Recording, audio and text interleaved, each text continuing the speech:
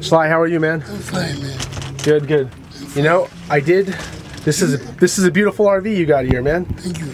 It's new, huh? Well, pretty new. To me, albinos are the the the real legitimate minority group in the world Okay. because they are in all of our races, and we all shun them. I do too. We treat them like they're ugly, and their eyes go around, and and we don't, you know, we, we don't really. That's the way we treat them, and we- Okay. you know, and, and they accept it, and that's what's terrible. So you know, I just want So you want to give me a song? yeah, I want to give you a song. Give me a song, and, and, and I'll see what I can do about about getting it exposure and getting it out there. Well, I mean, all you got to do is just have it on there. Just I don't care, you know, it's, it's free. Okay. Just have people, you know, free or donation.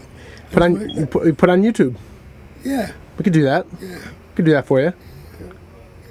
I think well, anybody should would be really want to do that.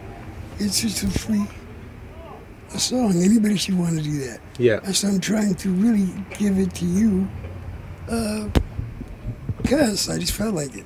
Of course. So let's hear it. Okay, I'll give you the words to it anyway. Sure. Can you sing it a little bit? Well, I'm too hoarse right now. Give, me, give, give us a taste But I'll give you the words for it. from the It- legend. Sure. It says, uh, give the kid a flag, you teach him to salute. You give the kid a gun, you teach him how to shoot.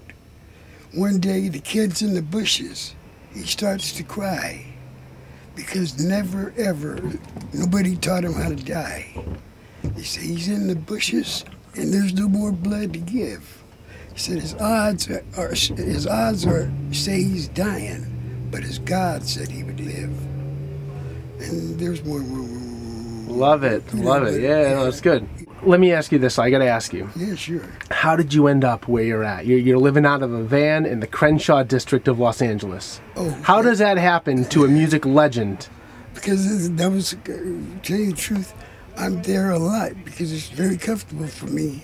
Because uh, I don't like to be in any one place under the circumstances with this lawsuit, and being people are getting killed, and, and, and people are getting. I mean, the players in the uh, lawsuit are getting killed, and. Uh, I don't really, I'm not really into that. I don't really care about no fifty million dollars. Which which lawsuit? There's there's a lawsuit having to do with uh, a lot of monies that have been stolen. But From I, from who? From you?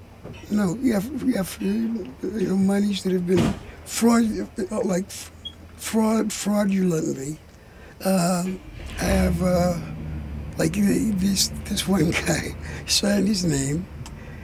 Uh, Yeah. I'll tell you, uh, fuck it, I'll tell you, man. Okay. That, see, as far as I'm concerned, within the music business, it goes along. With unless unless a guy's playing music or recording the music, all those other guys are doing business, and usually they're dipping their hands a little bit more than they. Oh, I mean, I know that. So I, you know, I know this this guy Jerry Goldstein. Doesn't make him a bad guy.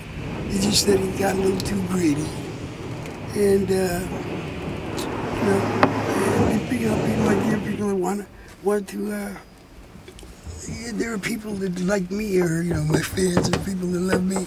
You know, they want to take them out and all that shit. And I, I, I'm not into that. I, you know, Well, let, let me let me ask you this. There, um, so you sold all of your music rights to Michael Jackson. Is that true? Well, now here's what happened, okay? Uh, at a point, like all my life, to the truth, I've always had too much money.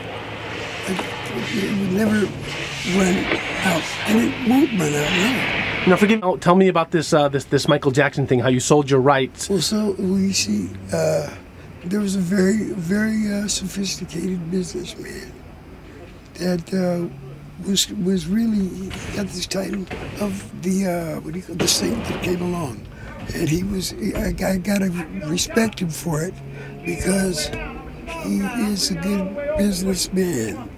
Um, what what what happens with me because I tell you the honest to God truth, when people there, there are people that like to stack up money and they get they like that, and I don't give a fuck, man. I just like toys. You know what I mean? Okay. You know, you know, get the toys and then get the kids toys. And, So at the time you wanted you wanted toys and you were okay selling your music.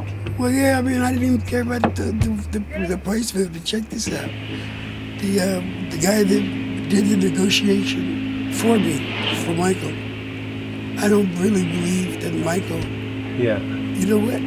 It was for.